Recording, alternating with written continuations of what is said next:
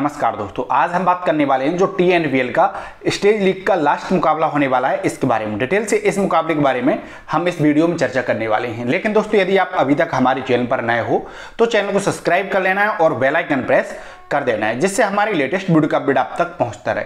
और यदि वीडियो अच्छी लगती है तो प्लीज़ वीडियो को लाइक ज़रूर करें। तो चलिए, सबसे पहले हम बात करते हैं यहाँ पर वेन्यू के बारे में। वेन्यू के बारे में चर्चा की जाए तो दोस्तों, एक अच्छी विकेट है बल्लेबाजी के लिए और बॉलिंग के लिए। बॉलिंग के लिए थोड़ी सी मदद कर रही है दोस्तों, वो भी स्पेशली स्पिनर के लिए। आपने देखा होगा स्पिनर पावर प्ले में गेंदबाजी करने के लिए आते हैं और विकेट भी चटकाते हैं। फास्ट बॉलर इतनी ज़्यादा गेंदबाजी नहीं कर रहे हैं पावर प्ले में इतनी की स्पिनर कर रहे हैं। आपको वेन्यू के बारे में तो पता होगा ही होगा सेम वेन्यू पर जो कि चेपक का ग्राउंड है, वहीं पर सभी मुकाबले होने वाले हैं। ये दोस्तों, इसका ओवरऑल रिकॉर्ड है, लेकिन हम आपके लिए इस टूर्नामेंट के बारे में चर्चा करते हैं। इस टूर्नामेंट में अभी तक दोस्तों खेले गए कुल 26 मुकाबलों में पहले बल्लेबाजी करने वाली टीम ने नौ मुकाबले, वहीं सेकंड बल्लेबाजी करने वाली टीम ने आपके लिए चौदह मुकाबले बिन कर कर दिए हैं, जबकि तीन मुकाबले ऐसे रहे हैं जिनका कोई रिज़ल्ट नहीं निकला। तो संभवतः जो टीम टॉस जीतेगी, आपके लिए पहले गेंदबाजी करती हुई नज़र आ जाएगी। जो भी टीम है दोस्तों, वो प्रेफरेंस देगी पहले गेंदबाजी को। तो चलिए बात करते हैं यहाँ पर एवरेज के बारे में। 149 आपके लिए इसके आसपास स्कोर देखने को मिल सकता है। या तो आपके लिए 150 टू 160 देखने को मिल सकता है मतलब 140 से 160 तक आपके लिए स्कोर देखने को मिल सकता है। हालाँकि दोनों ही टीमों की बल्लेबाजी अच्छी है तो संभवतः यदि थोड़ी अच्छी बल्लेबाजी हो जाए तो टारगेट ऊपर भी जा सकता है। अब विकेट एनालिसिस करते हैं। दोस्तों, आप यहाँ पर देख सकते हो 319 विकेट अभी तक के खेले गए 26 मुकाबलों में गिरे हैं। मतलब 10 से 12 विकेट जी हाँ दोस्तों 10 से 12 विकेट हर एक मुकाबले में आपके लिए गिरते हैं। जी हाँ दोस्तों 10 से 12 विकेट हर एक मुकाबले में गिरते हैं। तो आप यहाँ पर देख सकते हो स्पिनर और फेसर का। फेस बॉलर ने यहाँ पर एक विकेट निकाले हैं, जबकि स्पिनर ने वन फिफ्टी विकेट निकाले हैं। अभी पिछले कुछ मुकाबलों में आपने देखा होगा स्पिनर कुछ ज़्यादा ही इंपैक्ट डाल रहे हैं। जी हाँ दोस्तों स्पिनर कुछ ज़्यादा ही इंपैक्ट डाल रहे हैं। और यहाँ पर स्पिनर आपके लिए शुरुआत में गेंदबाजी करते हुए नज़र आ रहे हैं पावर प्ले में। एक पेस बॉलर के साथ और दोस्तों, एक स्पिनर पावर प्ले में गेंदबाजी करते हुए नज़र आ रहा है और वो विकेट भी निकाल रहा है। ऐसा नहीं कि वो विकेट नहीं निकाल रहा हो, चाहे आपने कल का मैच देखा हो या फिर आपने परसों का मैच देखा हो। तो चलिए बात करते हैं यहाँ पर। दोनों ही टीमों की संभावित 11 और बैटिंग ऑर्डर के बारे में।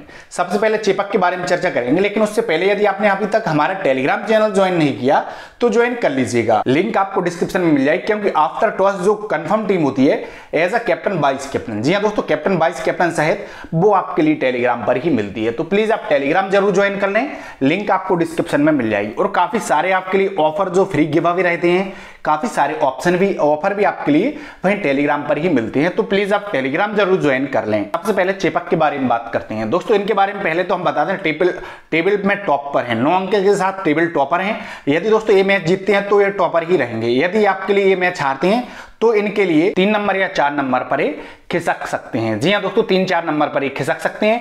लेकिन क्वालिफाई ऑलरेडी सेमीफाइनल के लिए कर चुके हैं। अब बात करें दोस्तों इनके बारे में। नारायण जगदीशन ओपन करते हुए नज़र आ जाएँगे कौशिक गांधी के साथ। कौशिक गांधी का और नारायण जगदीशन ने अच्छा फॉर्म दिखाया है। नारायण जगदीशन आप देख सकते हो यहाँ पर पंचानवे रन, बावन रन, चालीस रन, हालाँकि लास्ट के दो मुकाबलों से नौ नौ रन बनाकर ये फेल ज़रूर हुए हैं। कौशिक गांधी, आप देख सकते हो, पैंतालीस रन और चौसठ रन। दो इनिंग्स अच्छी खेल कर दी उसके बाद इन्होंने दस रन का स्कोर किया, लेकिन प्लेयर शानदार है, आप इन्हें अपनी टीम में ट्राई कर सकते हो। दोस्तों, एक बात और मैं आपके लिए बता दूँ कि चेंजेस आपके लिए देखने को मिल सकते हैं। चेपक की टीम है, उसमें चेंजेस आपके लिए देखने को मिल सकते हैं। सचदेव ने लास्ट का मुकाबला यहाँ पर नहीं खेला था। मैं इन्हें हटा नहीं पाया, हालाँकि लास्ट मुकाबला इन्होंने नहीं खेला था। उसके बाद बात की जाए दोस्तों, यहाँ पर सुजय। सुजय ने लास्ट मुकाबला खेला और नौ रन बनाए। इससे पहले के मुकाबले, एक दो मुकाबले इन्होंने मिस ज़रूर किए थे। अब साइन किशोर के बारे में बात की जाए तो आप इनका देख सकते हो। एक मुकाबला खेले, चार विकेट निकाले। यहाँ पर इन्होंने नीचे बल्लेबाजी की थी। उसके बाद पंद्रह रन, एक विकेट और इकतीस रन, दो विकेट मतलब टॉप ऑर्डर में बल्लेबाजी भी कर रहे हैं और गेंदबाजी भी शानदार करते हैं। तब चार विकेट जो गेंदबाज निकाल सकता है दोस्तों तो गेंदबाजी तो अच्छी है कर रहा है। स्पिन गेंदबाज है दोस्तों, left arm left arm spinner है। और लेफ़्ट से ही बल्लेबाजी भी ये करते हैं। तो आप बिल्कुल डेफिनेटली इन्हें अपनी टीम में ट्राई कर सकते हो। और ग्रैंड लीग में आप इन्हें as a captain vice captain ज़रूर ट्राई इन्हें करिएगा। उसके अलावा राजगोपाल सतीश। लास्ट मुकाबले में शानदार इन्होंने इनिंग्स खेल कर दी चौसठ रन की, लेकिन गेंदबाजी इन्होंने नहीं की। और याद रखिएगा दोस्तों, गेंदबाजी नहीं की ऑलराउंडर सेक्शन में आपके लिए नज़र आ जाएँगे। उसके बाद दोस्तों इन्होंने आठ रन की इनिंग्स खेली, उसके बाद ग्यारह रन, कोई विकेट नहीं। एक रन, एक यदि लास्ट की इनिंग्स इनकी निकाल दी जाए। तो दोस्तों बल्ले से तो इतना कुछ खास नहीं किया था लेकिन एक मैच में गेंदबाजी से पाँच विकेट ज़रूर निकाली थी। जी हाँ दोस्तों, पाँच विकेट निकाले थे। टी ट्वेंटी में पाँच विकेट अपने आप में बहुत ज़्यादा महत्व रखते हैं। उसके अलावा हरीश कुमार, लास्ट मुकाबले में उन्होंने पंद्रह रन, दो विकेट, पंद्रह रन बनाए मात्र सात बॉलों में। और दो विकेट भी साथ में इन्होंने चटकाए। उसके अलावा आप देख सकते हो यहाँ पर छह रन, एक विकेट, सत्ताईस रन, दो विकेट मतलब विकेट तो इन्होंने निकाले हैं। अच्छी खासी इन्होंने बल्लेबाजी भी की है हिटिंग की है। जी हाँ दोस्तों, जब हिटिंग का मौका आया है तो हिटिंग ज़रूर की है और गेंदबाजी तो ये पूरी करने वाले हैं ही हैं। उसके अलावा आप देख सकते हो यहाँ पर सोनू यादव का। सोनू यादव लास्ट में मुकाबले में सात रन, एक विकेट इससे पहले दोस्तों दो विकेट एक विकेट और विकेट नहीं मिली थी। एज अ बॉलर ही आप इन्हें ट्राई करिएगा। अलेक्जेंडर आप यहाँ पर देख सकते हो, एक विकेट निकाला लास्ट मुकाबले में। और दोस्तों इससे पहले का मुकाबला इन्हें खिलाया नहीं गया था। और आप यहाँ पर देख सकते हो, कुछ खास इन्होंने परफॉर्मेंस नहीं किया। जिस हिसाब का इनका नाम है दोस्तों, उस हिसाब से इन्होंने परफॉर्मेंस कर कर नहीं दिया। उसके अलावा बात की जाए सिद्धार्थ के बारे में। सिद्धार्थ का आप यहाँ पर देख सकते हो, एक विकेट चार विकेट उसके पहले विकेट नहीं मिला, फिर विकेट गेंदबाजी अच्छी करेंगे। गेंदबाजी की शुरुआत करते हुए नज़र आ जाएँगे दोस्तों।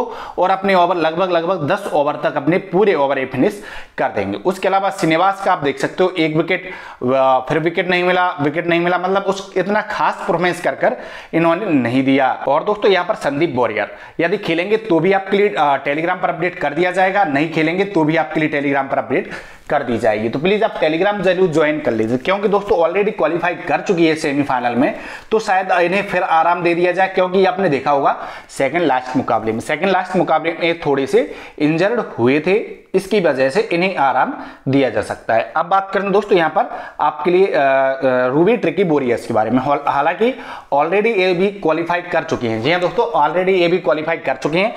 सेकंड नंबर पर हैं, आठ पॉइंट के साथ। नौ पॉइंट के साथ रूबी पहले नंबर पर है।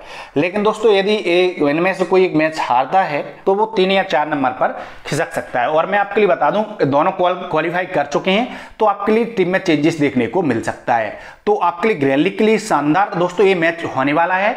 उसके अलावा आप दोस्तों टेलीग्राम से ज़रूर जुड़ जाएगा लिंक डिस्क्रिप्शन में मिल जाएगी, क्योंकि आफ्टर टॉस जो फाइनल टीम है और चेंजेस हैं चेंजेस के बारे में सभी जानकारी आपके लिए टेलीग्राम पर ही मिलती है।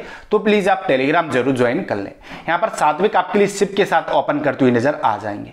हालाँकि सिप ने भी ज़्यादा अच्छी बल्लेबाजी नहीं की, इससे पहले इनके साथ ओपनिंग सुमंत जैन कर रहे थे। उन्हें मौका मिलेगा या नहीं मिलेगा, उसके बारे में तो अपडेट आपके लिए टेलीग्राम पर मिल जाएगी। सात्विक ने अच्छी बल्लेबाजी की पहले ही मुकाबले में सेवेंटी वन, उसके बाद फोर्टी टू, लेकिन उसके बाद फिर ये स्कोर नहीं कर पाए। जी हाँ दोस्तों, उसके बाद फिर ये स्कोर नहीं कर पाए अब दोस्तों क्या करते हैं, क्या नहीं करते, इस मैच में स्कोर करते हैं या नहीं करते? दोस्तों, विकेट पर बहुत कुछ डिपेंड करने वाला।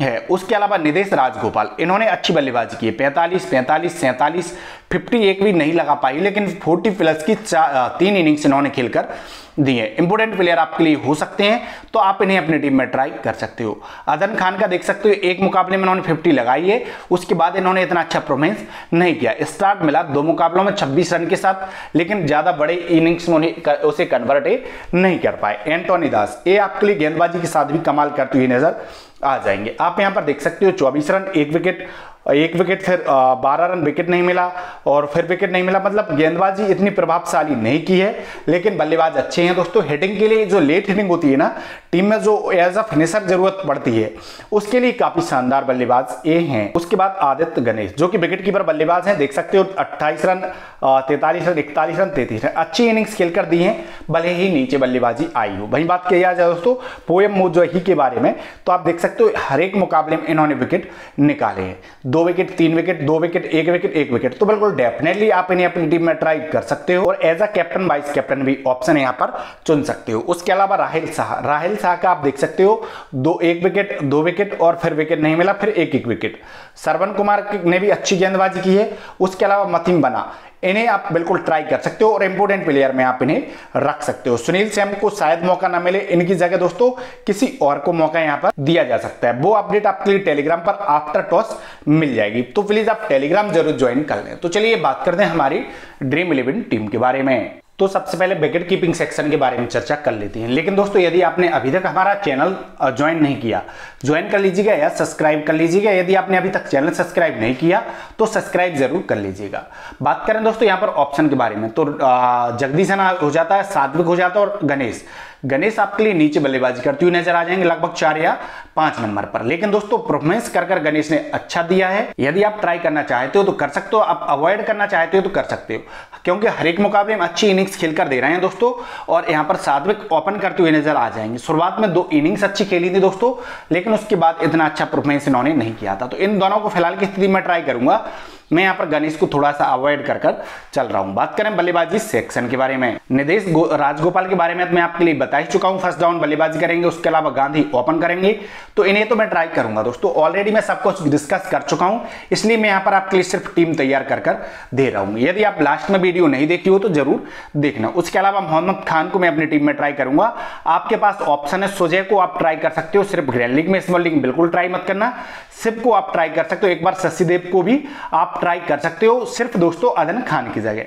बात करें ऑलराउंडर सेक्शन में। ऑलराउंडर सेक्शन में सतीश ने लास्ट मुकाबले में चौसठ रन की खेली, पारी और एक में पाँच विकेट इन्होंने निकाली। बस दो ही इनिंग्स इनकी अच्छी हैं। उसके अलावा इतना अच्छा परफॉर्मेंस कर इन्होंने नहीं दिया। सोनू यादव, सतीश और एंटोनी दास। इनको मैं अपनी टीम में ट्राई कर रहा हूँ। बात करें यहाँ पर बॉलिंग सेक्शन के बारे में। बॉलिंग सेक्शन के बारे में उससे पहले एम सिद्धार्थ को आप एज अ बॉलर अपनी टीम में ट्राई कर सकते हो। हरीश कुमार है और सुमरा है। एक कुछ आपके लिए ऑप्शन है यहाँ पर। दोस्तों, आप इन्हें अपनी टीम में एज अ बॉलर ट्राई कर सकते हो। बल्लेबाज में तो बिल्कुल इनके, बल्लेबाजी के हिसाब से बिल्कुल ट्राई नहीं, मत करना। अब बात करते हैं दोस्तों यहाँ पर बॉलिंग सेक्शन में। साई किशोर, जो कि गेंदबाजी, बल्लेबाजी भी करेंगे। सरवन कुमार है और दोस्तों मतिम्बनम एम है। उसके अलावा आपके पास यहाँ पर मोजम वही ऑप्शन हो जाता है। आप इन्हें यदि सोनू यादव की जगह या एंटोनी दास की जगह लेना चाहते हो तो बिल्कुल आप इन्हें अपनी टीम में ट्राई कर सकते हो। गेंदबाज अच्छे हैं दोस्तों, अच्छी गेंदबाजी भी इन्होंने की है। अब बात करते हैं दोस्तों यहाँ पर कैप्टन वाइस कैप्टन के बारे में। कैप्टन वाइस कैप्टन के बारे में बात करें तो नारायण जगदीशन। अच्छा ऑप्शन है आपके लिए as a captain vice captain Nidesh Rajagopal शानदार ऑप्शन हो जाता है दोस्तों as a captain vice captain उसके अलावा आप ट्राई करना चाहते हो दोस्तों, सात्विक को भी आप as a captain vice captain try कर सकते हो। लेकिन सात्विक थोड़ी रिस्की है, जो दोस्तों आपके लिए फाइनल कैप्टन वाइस कैप्टन है। आफ्टर टॉस टेलीग्राम पर मिल जाएँगे। तो प्लीज़ आप टेलीग्राम ज़रूर ज्वाइन कर लें। लिंक आपको टेलीग्राम की वीडियो को डिस्क्रिप्शन में मिल जाएगी। दोस्तों, यदि वीडियो अच्छी लगी हो तो वीडियो को लाइक कर देना है चैनल को सब्सक्राइब कर लेना है। वीडियो देखने के लिए धन्यवाद।